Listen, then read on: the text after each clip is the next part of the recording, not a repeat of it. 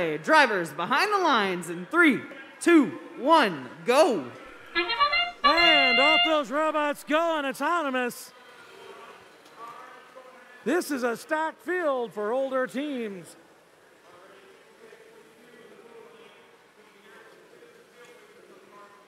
Oh, nice late try from the human player there.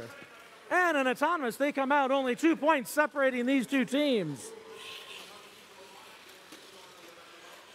One of those two went in for the Blue Alliance by the Robotarians, and oh, the Red Alliance, how about that? Red Storm and Trisonics, three big red cargo deliveries in the upper hub.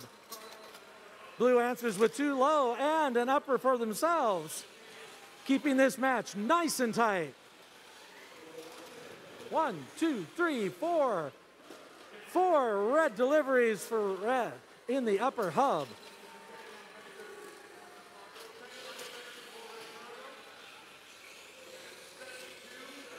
Blue Alliance, they're only four, four cargo deliveries away from that extra ranking point.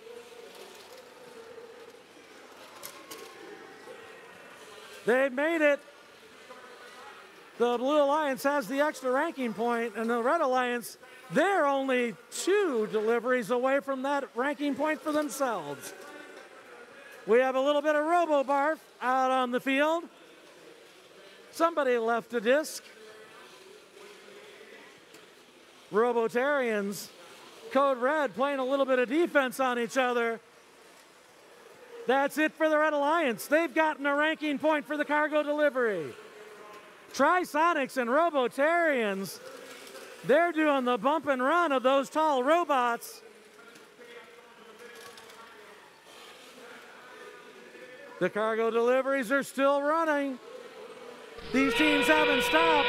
That's the 30 second mark. Teams, we are into the end game. I see fabricators are up on the high rung, followed by Impy. They're on the high rung as well. Over for the red, Code Red Robotics